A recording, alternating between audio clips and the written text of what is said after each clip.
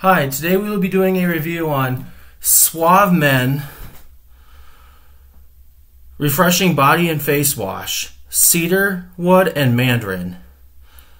This body wash is a really good body wash. This is one you want to get. It has the scent of of more of a cedar wood, more of a I meant to say more of a mandarin and some of cedar wood.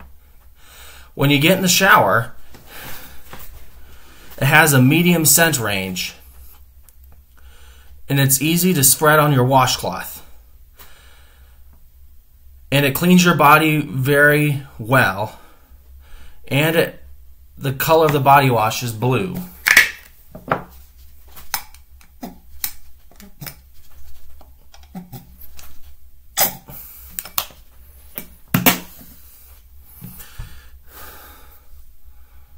There's the body wash right there, the blue right there. Here's the consistency. And when you get out, the smell is still there.